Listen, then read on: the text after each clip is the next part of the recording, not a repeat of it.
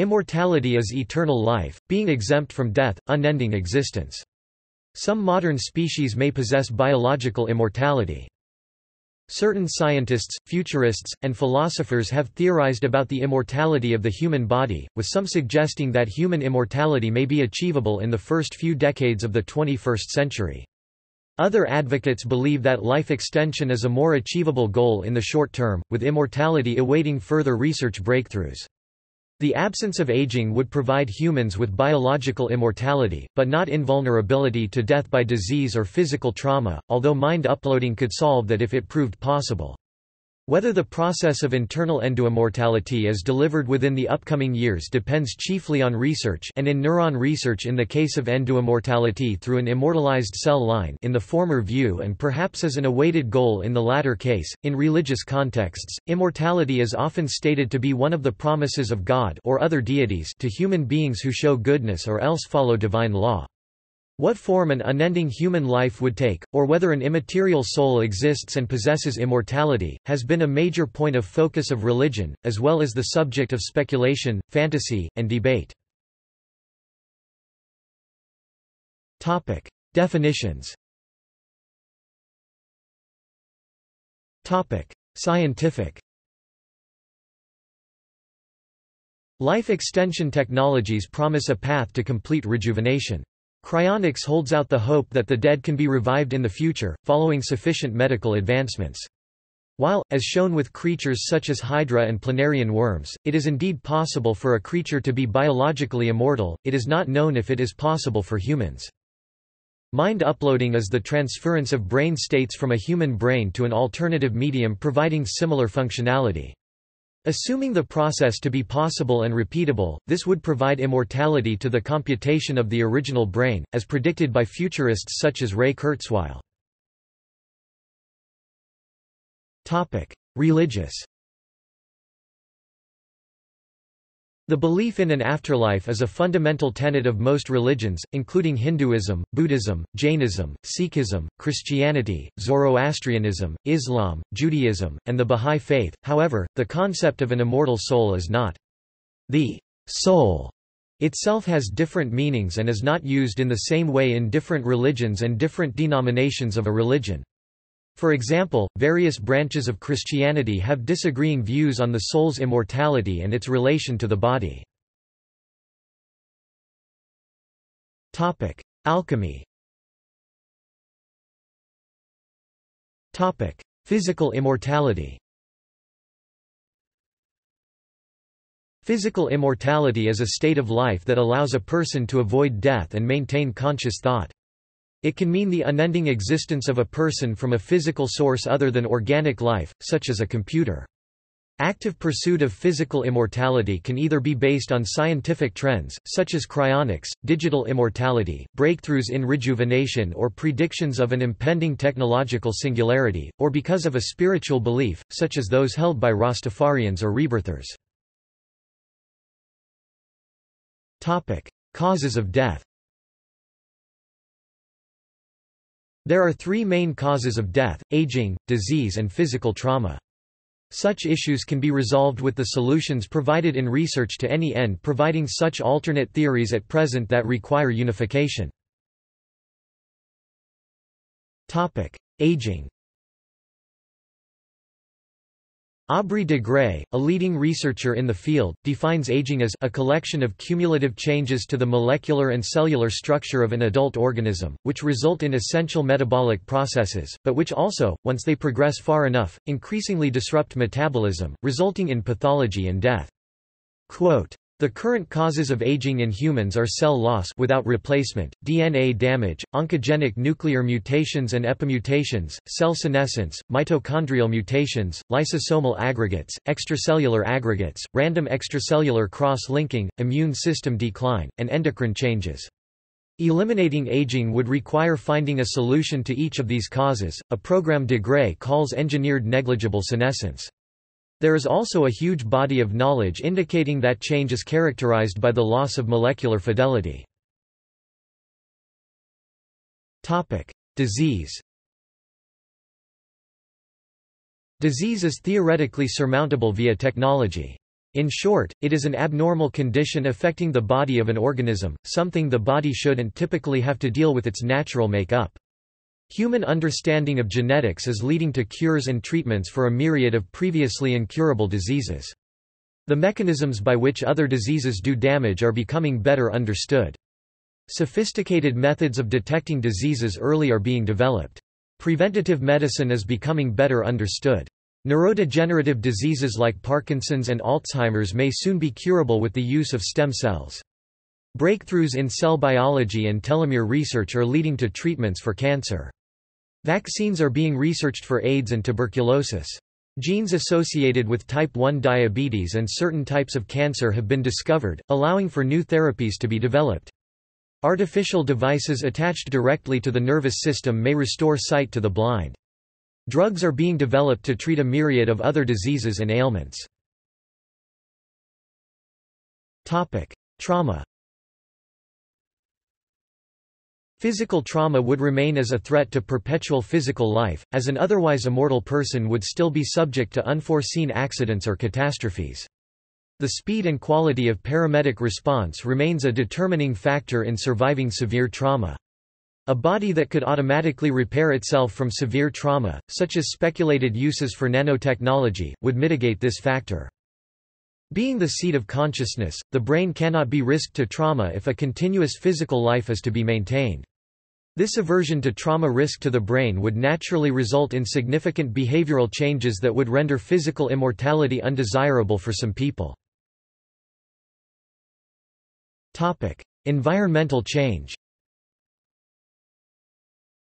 Organisms otherwise unaffected by these causes of death would still face the problem of obtaining sustenance whether from currently available agricultural processes or from hypothetical future technological processes in the face of changing availability of suitable resources as environmental conditions change. After avoiding aging, disease, and trauma, you could still starve to death.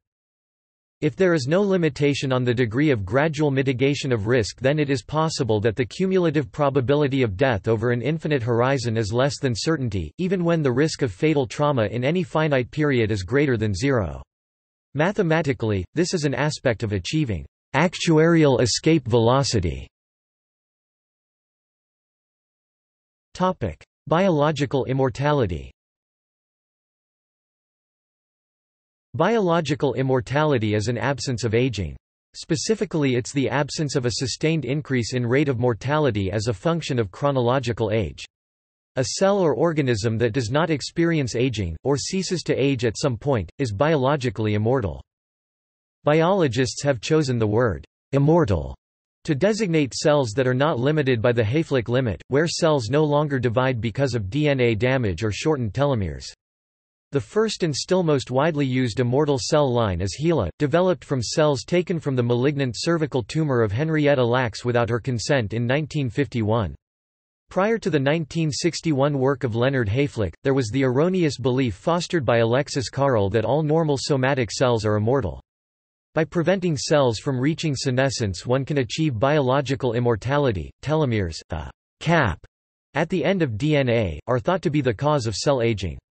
Every time a cell divides the telomere becomes a bit shorter, when it is finally worn down, the cell is unable to split and dies. Telomerase is an enzyme which rebuilds the telomeres in stem cells and cancer cells, allowing them to replicate an infinite number of times. No definitive work has yet demonstrated that telomerase can be used in human somatic cells to prevent healthy tissues from aging. On the other hand, scientists hope to be able to grow organs with the help of stem cells, allowing organ transplants without the risk of rejection, another step in extending human life expectancy. These technologies are the subject of ongoing research, and are not yet realized. Biologically immortal species Life defined as biologically immortal is still susceptible to causes of death besides aging, including disease and trauma, as defined above. Notable immortal species include Bacteria – Bacteria reproduce through binary fission. A parent bacterium splits itself into two identical daughter cells which eventually then split themselves in half. This process repeats, thus making the bacterium essentially immortal. A 2005 PLOS Biology paper suggests that after each division the daughter cells can be identified as the older and the younger, and the older is slightly smaller, weaker, and more likely to die than the younger. Turritopsis dohrnii, a jellyfish phylum Cnidaria, class Hydrozoa, order Anthoathecata, after becoming a sexually mature adult, can transform itself back into a polyp using the cell conversion process of transdifferentiation. Turritopsis dohrnii repeats this cycle, meaning that it may have an indefinite lifespan. Its immortal adaptation has allowed it to spread from its original habitat in the Caribbean to all over the world. Hydra is a genus belonging to the phylum Cnidaria, the class Hydrozoa and the order Anthomedusae. They are simple fresh-water predatory animals possessing radial symmetry. Bristlecone pines are speculated to be potentially immortal, the oldest known living specimen is over 5,000 years old. Evolution of aging As the existence of biologically immortal species demonstrates, there is no thermodynamic necessity for senescence. A defining feature of life is that it takes in free energy from the environment and unloads its entropy as waste. Living systems can even build themselves up from seed, and routinely repair themselves. Aging is therefore presumed to be a byproduct of evolution, but why mortality should be selected for remains a subject of research and debate. Programmed cell death and the telomere end replication problem are found even in the earliest and simplest of organisms.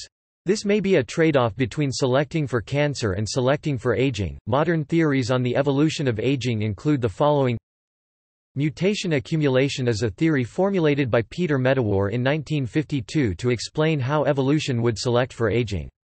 Essentially, aging is never selected against, as organisms have offspring before the mortal mutations surface in an individual. Antagonistic pleiotropy is a theory proposed as an alternative by George C. Williams, a critic of Medawar, in 1957. In antagonistic pleiotropy, genes carry effects that are both beneficial and detrimental. In essence this refers to genes that offer benefits early in life, but exact a cost later on, i.e. decline and death. The disposable soma theory was proposed in 1977 by Thomas Kirkwood, which states that an individual body must allocate energy for metabolism, reproduction, and maintenance, and must compromise when there is food scarcity. Compromise in allocating energy to the repair function is what causes the body gradually to deteriorate with age, according to Kirkwood. Topic: Prospects for human biological immortality. Topic: Life-extending substances. There are some known naturally occurring and artificially produced chemicals that may increase the lifetime or life expectancy of a person or organism, such as resveratrol. Some scientists believe that boosting the amount or proportion of telomerase in the body, a naturally forming enzyme that helps maintain the protective caps at the ends of chromosomes, could prevent cells from dying and so may ultimately lead to extended, healthier lifespans. A team of researchers at the Spanish National Cancer Center Madrid tested the hypothesis on mice. It was found that those mice which were genetically engineered to produce 10 times the normal levels of telomerase lived 50% longer than normal mice. In normal circumstances, without the presence of telomerase, if a cell divides repeatedly, at some point all the progeny will reach their Hayflick limit. With the presence of telomerase, each dividing cell can replace the lost bit of DNA, and any single cell can then divide unbounded. While this unbounded growth property has excited many researchers, caution is warranted in exploiting this property, as exactly this same unbounded growth is a crucial step in enabling cancerous growth. If an organism can replicate its body cells faster, then it would theoretically stop aging. Embryonic stem cells express telomerase, which allows them to divide repeatedly and form the individual. In adults, telomerase is highly expressed in cells that need to divide regularly e.g., in the immune system, whereas most somatic cells express it only at very low levels in a cell cycle-dependent manner. Technological immortality, biological machines, and «swallowing the doctor» Technological immortality is the prospect for much longer life spans made possible by scientific advances in a variety of fields, nanotechnology, emergency room procedures, genetics, biological engineering, regenerative medicine, microbiology, and others. Contemporary life spans in the advanced industrial societies are already markedly longer than those of the past because of better nutrition, availability of health care, standard of living and bio-medical scientific advances. Technological immortality predicts further progress for the same reasons over the near term. An important aspect of current scientific thinking about immortality is that some combination of human cloning, cryonics or nanotechnology will play an essential role in extreme life extension. Robert Freitas, a nanorobotics theorist, suggests tiny medical nanorobots could be created to go through human bloodstreams, find dangerous things like cancer cells and bacteria, and destroy them. Freitas anticipates that gene therapies and nanotechnology will eventually make the human body effectively self-sustainable and capable of living indefinitely in empty space, short of severe brain trauma. This supports the theory that we will be able to continually create biological or synthetic replacement parts to replace damaged or dying ones. Future advances in nanomedicine could give rise to life extension through the repair of many processes thought to be responsible for aging. K. Eric Drexler, one of the founders of nanotechnology, postulated cell repair devices, including ones operating within cells and utilizing as yet hypothetical biological machines, in his 1986 book Engines of Creation. Raymond Kurzweil, a futurist and transhumanist, stated in his book The Singularity is Near that he believes that advanced medical nanorobotics could completely remedy the effects of aging by 2030. According to Richard Feynman, it was his former graduate student and collaborator Albert Hibbs who originally suggested to him circa 1959 the idea of a medical use for Feynman's theoretical micromachines see biological machine. Hibbs suggested that certain repair machines might one day be reduced in size to the point that it would, in theory, be possible to as Feynman put it, swallow the doctor. The idea was incorporated into Feynman's 1959 essay There's Plenty of Room at the Bottom. Cryonics Cryonics, the practice of preserving organisms either intact specimens or only their brains for possible future revival by storing them at cryogenic temperatures where metabolism and decay are almost completely stopped, can be used to pause for those who believe that life extension technologies will not develop sufficiently within their lifetime. Ideally, cryonics would allow clinically dead people to be brought back in the future after cures to the patient's diseases have been discovered and aging is reversible. Modern cryonics procedures use a process called vitrification which creates a glass-like state rather than freezing as the body is brought to low temperatures. This process reduces the risk of ice crystals damaging the cell structure, which would be especially detrimental to cell structures in the brain, as their minute adjustment evokes the individual's mind. Mind-to-computer uploading One idea that has been advanced involves uploading an individual's habits and memories via direct mind-computer interface. The individual's memory may be loaded to a computer or to a new organic body. Extropian futurists like Moravec and Kurzweil have proposed that, thanks to exponentially growing computing power, it will someday be possible to upload human consciousness onto a computer system, and exist indefinitely in a virtual environment. This could be accomplished via advanced cybernetics, where computer hardware would initially be installed in the brain to help sort memory or accelerate thought processes. Components would be added gradually until the person's entire brain functions were handled by artificial devices, avoiding sharp transitions that would lead to issues of identity, thus running the risk of the person to be declared dead and thus not be a legitimate owner of his or her property. After this point, the human body could be treated as an optional accessory and the program implementing the person could be transferred to any sufficiently powerful computer.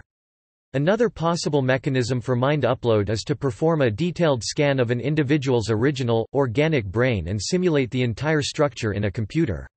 What level of detail such scans and simulations would need to achieve to emulate awareness, and whether the scanning process would destroy the brain, is still to be determined. It is suggested that achieving immortality through this mechanism would require specific consideration to be given to the role of consciousness in the functions of the mind. An uploaded mind would only be a copy of the original mind, and not the conscious mind of the living entity associated in such a transfer. Without a simultaneous upload of consciousness, the original living entity remains mortal, thus not achieving true immortality. Research on neural correlates of consciousness is yet inconclusive on this issue. Whatever the route to mind upload, persons in this state could then be considered essentially immortal, short of loss or traumatic destruction of the machines that maintained them. Cybernetics Transforming a human into a cyborg can include brain implants or extracting a human processing unit and placing it in a robotic life support system. Even replacing biological organs with robotic ones could increase lifespan e.g. pacemakers and depending on the definition, many technological upgrades to the body, like genetic modifications or the addition of nanobots would qualify an individual as a cyborg. Some people believe that such modifications would make one impervious to aging and disease and theoretically immortal unless killed or destroyed. Digital immortality Religious views As late as 1952, the editorial staff of the Syntopicon found in their compilation of the great books of the Western world, that the philosophical issue concerning immortality cannot be separated from issues concerning the existence and nature of man's soul. Thus, the vast majority of speculation regarding immortality before the 21st century was regarding the nature of the afterlife. Ancient Greek religion Immortality in ancient Greek religion originally always included an eternal union of body and soul as can be seen in Homer, Hesiod, and various other ancient texts. The soul was considered to have an eternal existence in Hades, but without the body the soul was considered dead. Although almost everybody had nothing to look forward to but an eternal existence as a disembodied dead soul, a number of men and women were considered to have gained physical immortality and been brought to live forever in either Elysium, the islands of the blessed, heaven, the ocean or literally right under the ground. Among these were Amphiaraus, Ganymede, Ino, Iphigenia, Menelaus, Peleus, and a great part of those who fought in the Trojan and Theban wars. Some were considered to have died and been resurrected before they achieved physical immortality. Asclepius was killed by Zeus only to be resurrected and transformed into a major deity. In some versions of the Trojan War myth, Achilles, after being killed, was snatched from his funeral pyre by his divine mother Thetis, resurrected, and brought to an immortal existence in either Leuce, the Elysian plains, or the islands of the blessed. Memnon, who was killed by Achilles, seems to have received a similar fate. Alcmene, Castor, Heracles, and Melicertes were also among the figures sometimes considered to have been resurrected to physical immortality. According to Herodotus' histories, the 7th century BC sage Aristeas of Proconnesus was first found dead, after which his body disappeared from a locked room. Later he was found not only to have been resurrected but to have gained immortality.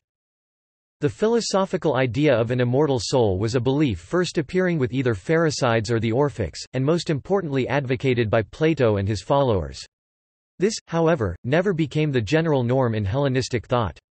As may be witnessed even into the Christian era, not least by the complaints of various philosophers over popular beliefs, many or perhaps most traditional Greeks maintained the conviction that certain individuals were resurrected from the dead and made physically immortal and that others could only look forward to an existence as disembodied and dead, though everlasting, souls.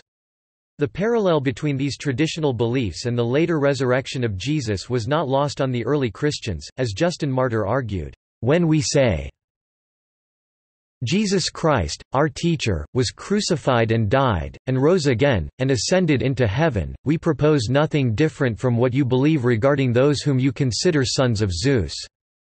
1 Apol. 21. Buddhism The goal of Hinayana is arhatship and nirvana. By contrast, the goal of Mahayana is Buddhahood. According to one Tibetan Buddhist teaching, Dzogchen, individuals can transform the physical body into an immortal body of light called the rainbow body. Christianity Christian theology holds that Adam and Eve lost physical immortality for themselves and all their descendants in the fall of man, although this initial imperishability of the bodily frame of man was a preternatural condition. Christians who profess the Nicene Creed believe that every dead person whether they believed in Christ or not will be resurrected from the dead at the Second Coming, and this belief is known as universal resurrection, N.T. Wright, a theologian and former bishop of Durham, has said many people forget the physical aspect of what Jesus promised. He told Time, "...Jesus' resurrection marks the beginning of a restoration that he will complete upon his return." Part of this will be the resurrection of all the dead, who will awake, be embodied and participate in the renewal. Wright says John Polkinghorne, a physicist and a priest, has put it this way, God will download our software onto his hardware until the time he gives us new hardware to run the software again for ourselves. That gets to two things nicely, that the period after death the intermediate state is a period when we are in God's presence but not active in our own bodies, and also that the more important transformation will be when we are again embodied and administering Christ's kingdom. This kingdom will consist of heaven and earth, joined together in a new creation, he said. Hinduism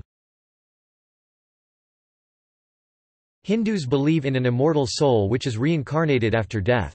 According to Hinduism, people repeat a process of life, death, and rebirth in a cycle called samsara. If they live their life well, their karma improves and their station in the next life will be higher, and conversely lower if they live their life poorly.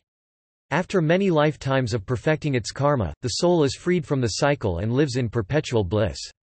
There is no place of eternal torment in Hinduism, although if a soul consistently lives very evil lives, it could work its way down to the very bottom of the cycle. There are explicit renderings in the Upanishads alluding to a physically immortal state brought about by purification, and sublimation of the five elements that make up the body.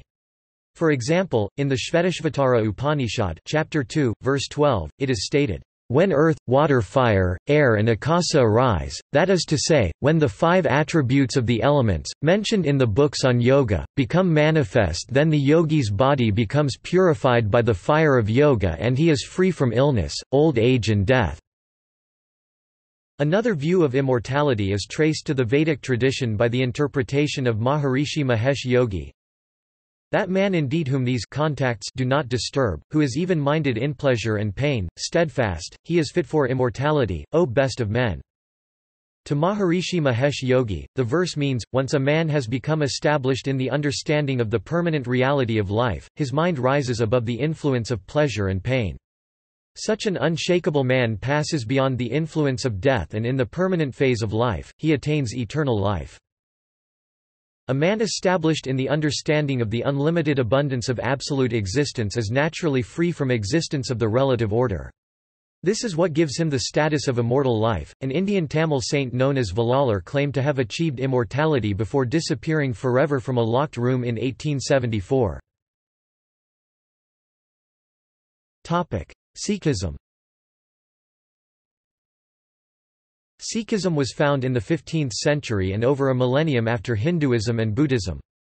Therefore, Sikhs have a similar belief of immortality of reincarnation like the Hindus, however they believe there is a way that we could get out of the cycle of rebirth and death, by doing the good deeds that all the ten gurus have left behind for them to do.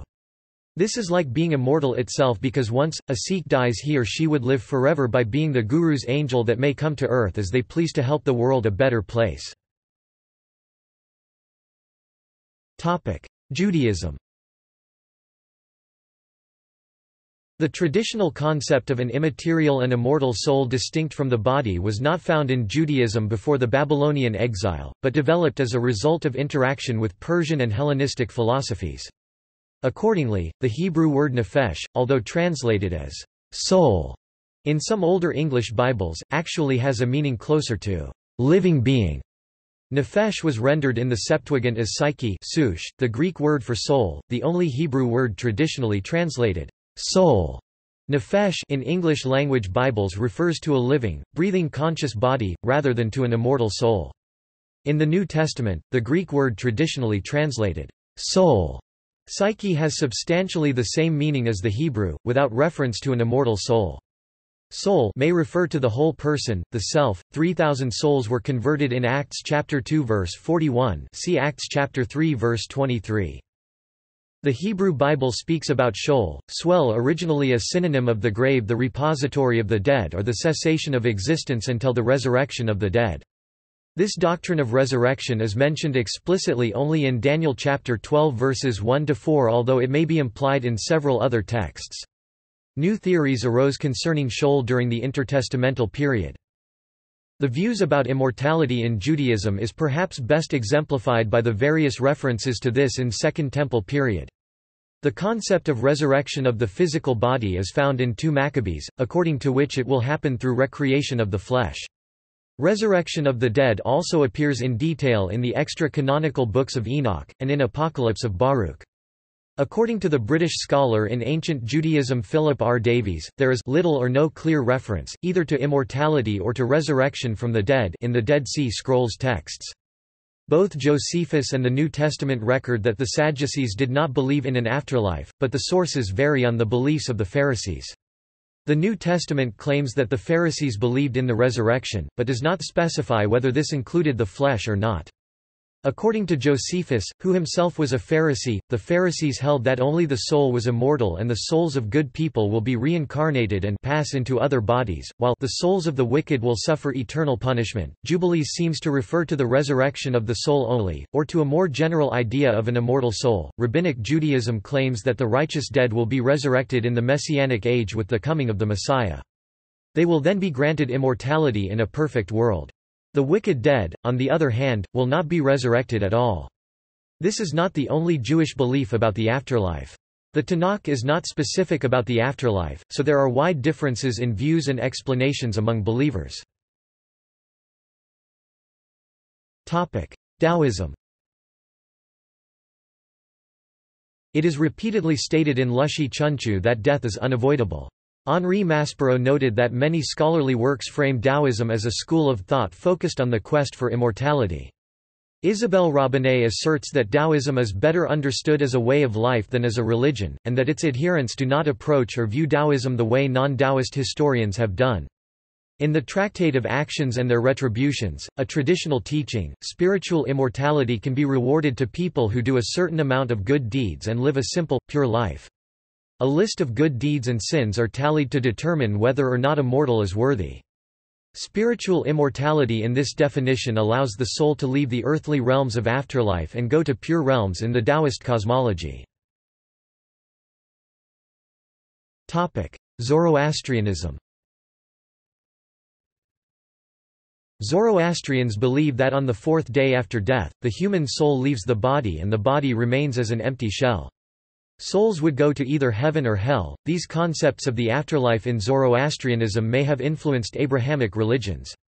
The Persian word for immortal is associated with the month Imerdad, meaning deathless in Persian, in the Iranian calendar near the end of July. The month of Imerdad or Amareta is celebrated in Persian culture as ancient Persians believed the angel of immortality won over the angel of death in this month. Topic: Philosophical arguments for the immortality of the soul. Topic: Alcmaeon of Croton. Alcmaeon of Croton argued that the soul is continuously and ceaselessly in motion. The exact form of his argument is unclear, but it appears to have influenced Plato, Aristotle, and other later writers. Plato Plato's Phaedo advances four arguments for the soul's immortality. The cyclical argument, or opposites argument explains that forms are eternal and unchanging, and as the soul always brings life, then it must not die, and is necessarily imperishable. As the body is mortal and is subject to physical death, the soul must be its indestructible opposite. Plato then suggests the analogy of fire and cold. If the form of cold is imperishable, and fire, its opposite, was within close proximity, it would have to withdraw intact as does the soul during death. This could be likened to the idea of the opposite charges of magnets. The theory of recollection explains that we possess some non-empirical knowledge e.g. the form of equality at birth, implying the soul existed before birth to carry that knowledge. Another account of the theory is found in Plato's Meno, although in that case Socrates implies anamnesis previous knowledge of everything whereas he is not so bold in Phaedo. The affinity argument, explains that invisible, immortal, and incorporeal things are different from visible, mortal, and corporeal things. Our soul is of the former, while our body is of the latter, so when our bodies die and decay, our soul will continue to live. The argument from form of life, or the final argument explains that the forms, incorporeal and static entities, are the cause of all things in the world, and all things participate in forms. For example, beautiful things participate in the form of beauty, the number 4 participates in the form of the even, etc. The soul, by its very nature, participates in the form of life, which means the soul can never die. Plotinus Plotinus offers a version of the argument that Kant calls the Achilles of rationalist psychology. Plotinus first argues that the soul is simple, then notes that a simple being cannot decompose. Many subsequent philosophers have argued both that the soul is simple and that it must be immortal. The tradition arguably culminates with Moses Mendelssohn's Phaedon. Metochites Theodore Metochites argues that part of the soul's nature is to move itself, but that a given movement will cease only if what causes the movement is separated from the thing moved, an impossibility if they are one and the same. Avicenna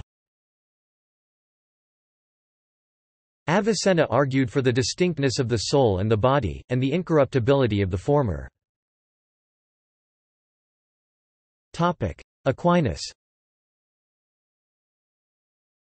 The full argument for the immortality of the soul and Thomas Aquinas' elaboration of Aristotelian theory is found in question 75 of the first part of the Summa Theologica. Topic: Descartes René Descartes endorses the claim that the soul is simple, and also that this entails that it cannot decompose. Descartes does not address the possibility that the soul might suddenly disappear. Leibniz In early work, Gottfried Wilhelm Leibniz endorses a version of the argument from the simplicity of the soul to its immortality, but like his predecessors, he does not address the possibility that the soul might suddenly disappear. In his monadology he advances a sophisticated novel argument for the immortality of monads. Moses Mendelssohn Moses Mendelssohn's Phaedon is a defense of the simplicity and immortality of the soul. It is a series of three dialogues, revisiting the Platonic dialogue Phaedo, in which Socrates argues for the immortality of the soul, in preparation for his own death. Many philosophers, including Plotinus, Descartes, and Leibniz, argue that the soul is simple, and that because simples cannot decompose they must be immortal. In the Phaedon, Mendelssohn addresses gaps in earlier versions of this argument an argument that Kant calls the Achilles of rationalist psychology. The Phaedon contains an original argument for the simplicity of the soul, and also an original argument that simples cannot suddenly disappear. It contains further original arguments that the soul must retain its rational capacities as long as it exists. Ethics The possibility of clinical immortality raises a host of medical, philosophical, and religious issues and ethical questions. These include persistent vegetative states, the nature of personality over time, technology to mimic or copy the mind or its processes, social and economic disparities created by longevity, and survival of the heat-death of the universe. Undesirability Physical immortality has also been imagined as a form of eternal torment, as in Mary Shelley's short story, The Mortal Immortal the protagonist of which witnesses everyone he cares about dying around him. Jorge Luis Borges explored the idea that life gets its meaning from death in the short story, The Immortal. An entire society having achieved immortality, they found time becoming infinite, and so found no motivation for any action. In his book Thursday's Fictions, and the stage and film adaptations of it, Richard James Allen tells the story of a woman named Thursday who tries to cheat the cycle of reincarnation to get a form of eternal life. At the end of this fantastical tale, her son, Wednesday, who has witnessed the havoc his mother's quest has caused, foregoes the opportunity for immortality when it is offered to him. Likewise, the novel Tuck Everlasting depicts immortality as falling off the wheel of life, and is viewed as a curse as opposed to a blessing. In the anime Casshern since humanity achieves immortality due to advances in medical technology, however, the inability of the human race to die causes Luna, a messianic figure, to come forth and offer normal lifespans because she believed that without death, humans could not live. Ultimately, Casshern takes up the cause of death for humanity when Luna begins to restore humanity's immortality. In Anne Rice's book series The Vampire Chronicles, vampires are portrayed as immortal and ageless, but their inability to cope with the changes in the world around them means that few vampires live for much more than a century, and those who do often view their changeless form as a curse. In his book Death, Yale philosopher Shelley Kagan argues that any form of human immortality would be undesirable. Kagan's argument takes the form of a dilemma. Either our characters remain essentially the same in an immortal afterlife, or they do not. If our characters remain basically the same, that is, if we retain more or less the desires, interests, and goals that we have now, then eventually, over an infinite stretch of time, we will get bored and find eternal life unbearably tedious. If, on the other hand, our characters are radically changed, e.g., by God periodically erasing our memories or giving us rat-like brains that never tire of certain simple pleasures, then such a person would be too different from our current self for us to care much what happens to them. Either way, Kagan argues, immortality is unattractive. The best outcome, Kagan argues, would be for humans to live as long as they desired and then to accept death gratefully as rescuing us from the unbearable tedium of immortality. Sociology If human beings were to achieve immortality, there would most likely be a change in the world's social structures. Sociologists argue that human beings' awareness of their own mortality shapes their behavior. With the advancements in medical technology in extending human life, there may need to be serious considerations made about future social structures. The world is already experiencing a global demographic shift of increasingly aging populations with lower replacement rates. The social changes that are made to accommodate this new population shift may be able to offer insight on the possibility of an immortal society. Politics Although some scientists state that radical life extension, delaying and stopping aging are achievable, there are no international or national programs focused on stopping aging or on radical life extension. In 2012 in Russia, and then in the United States, Israel and the Netherlands, pro-immortality political parties were launched. They aim to provide political support to anti-aging and radical life extension research and technologies and at the same time transition to the next step, radical life extension, life without aging, and finally, immortality and aim to make possible access to such technologies to most currently living people. Topic symbols There are numerous symbols representing immortality. The Ankh is an Egyptian symbol of life that holds connotations of immortality when depicted in the hands of the gods and pharaohs, who were seen as having control over the journey of life. The Mobius strip in the shape of a trefoil knot is another symbol of immortality. Most symbolic representations of infinity or the life cycle are often used to represent immortality depending on the context they are placed in. Other examples include the Ouroboros, the Chinese fungus of longevity, the ten kanji, the phoenix, the peacock in Christianity, and the colors amaranth in Western culture and peach in Chinese culture. Topic fiction Immortality is a popular subject in fiction, as it explores humanity's deep-seated fears and comprehension of its own mortality. Immortal beings and species abound in fiction, especially fantasy fiction, and the meaning of immortal tends to vary. The Epic of Gilgamesh, one of the first literary works, is primarily a quest of a hero seeking to become immortal. Some fictional beings are completely immortal or very nearly so in that they are immune to death by injury, disease and age. Sometimes such powerful immortals can only be killed by each other, as is the case with the Q from the Star Trek series. Even if something can't be killed, a common plot device involves putting an immortal being into a slumber or limbo, as is done with Morgoth in J.R.R. Tolkien's The Silmarillion and the dreaming god of pathways into darkness. Storytellers often make it a point to give weaknesses to even the most indestructible of beings. For instance, Superman is supposed to be invulnerable, yet his enemies were able to exploit his now infamous weakness, kryptonite. See also Achilles' heel. Many fictitious species are said to be immortal if they cannot die of old age, even though they can be killed through other means, such as injury. Modern fantasy elves often exhibit this form of immortality. Other creatures, such as vampires and the immortals in the film Highlander, can only die from beheading. The classic and stereotypical vampire is typically slain by one of several very specific means, including a silver bullet or piercing with other silver weapons, a stake through the heart perhaps made of consecrated wood, or by exposing them to sunlight. Topic see also topic References topic Further reading Allen, Richard James 1999. Thursday's Fictions. Wollongong, Five Islands Press. ISBN 978-0-86418-596-9. Alexander, Brian 2003. Rapture, How Biotech Became the New Religion. Basic Books. ISBN 978-0-7382-0761-2. Bolonkin, Alexander 2010. Rapture, Human Immortality and Electronic Civilization. Publish America. ISBN 978-1-4489-3367-9. Bova, Ben 2000.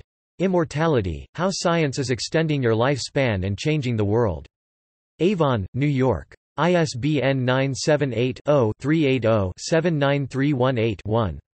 Cave, Stephen 2012. Immortality, The Quest to Live Forever and How It Drives Civilization. Crown. ISBN 978-0-307-88491-6. Cullmann, Oscar Immortality of the Soul or Resurrection of the Dead? Archived from the original on 26 October 2009. Edwards, Paul 1997. Immortality. Prometheus Books. ISBN 978-1-57392-130-5. Elixir 2001. The Immortalist Manifesto, Stay Young and Save the World. Authorhouse Books. ISBN 978-0-7596-5339-9. Freitas, Jr., Robert A. 2002. Death is an Outrage. Retrieved 14 February 2008. De Grey, Aubrey, Ray, Michael September 2007. Ending Aging, The Rejuvenation Breakthroughs That Could Reverse Human Aging in Our Lifetime. New York, New York, St. Martin's Press. p. 416. ISBN 978-0-312-36706-0. Hall, Stephen S. 2003. Merchants of Immortality, Chasing the Dream of Human Life Extension. Boston, Houghton Mifflin. ISBN 978-0-618-09524-7. Immortality Institute 2004. The Scientific Conquest of Death. Libros en Red. ISBN 978-987-561-135-1. Perry, R. Michael 2000. Forever for All, Moral Philosophy, Cryonics, and the Scientific Prospects for Immortality. New York, Universal Publishers, New York, Universal Publishers. ISBN 978-1-58112-724-9. Pickover, Clifford 2007. A Beginner's Guide to Immortality, Extraordinary People, Alien Brains, and Quantum Resurrection. New York, Thunder's Mouth Press. ISBN 978-1-56025-984-8. Rohde, Erwin 1925. Psyche, The Cult of Souls and Belief in Immortality Among the Greeks. New York, Harper & Row. Salmond, Stewart 1903. The Christian Doctrine of Immortality PDF. West, Michael D. 2003. The Immortal Cell, One Scientist's Quest to Solve the Mystery of Human Aging. Doubleday. ISBN 978-0-385-50928-2. Topic external links Immortality. Internet Encyclopedia of Philosophy. Scientists are close to finding a way to be immortal. Turritopsis nutricula. Palscience meet the only immortal species on planet Earth. The Methuselah Foundation Aubrey de Grey's nonprofit organization dedicated to finding a cure for aging. KurzweilAI.net Ray Kurzweil resource site biologicalgerontology.com Chris Smelick's biogerontology site Vitae Institute. Chris Smelick's nonprofit organization Elpis Theory. Marios Kyriazis Theory of Human Biological Immortality. Immortality Institute Science scientific and sociological discussions, activism, research topic Religious and spiritual prospects for immortality Death and Immortality Dictionary of the History of Ideas, eText at the University of Virginia Library Immortality Immortality, What Will Eternal Life Be Like? The Immortality of the Soul and the Resurrection of the Body Lecture by Heinrich J. Vogel An Essay on the Scriptural Doctrine of Immortality by James Shalley Eternity, Christ's Return, Chiliasm, Resurrection of the Dead, Judgment, Hell, Luther on Eternity, Heaven J. P. Meyer, The Northwestern Lutheran, August 22, 1954, Volume 41, No. 17 to April 14, 1957, Volume 44, No. 8 How You Can Have Eternal Life Jack Graham, PowerPoint Ministries, Christianity Immortality.com Got Eternal Life? Got Questions Ministries Immortality Taoist Essay, Personaltao.com The Trial to Conquer Death Ancient Scientific Yoga, The First Atom's Final Attempt 3 a review by Dr. Peter Fenwick of the book Human Immortality by Muhammad Samir Hossein In literature Mary Shelley's The Mortal Immortal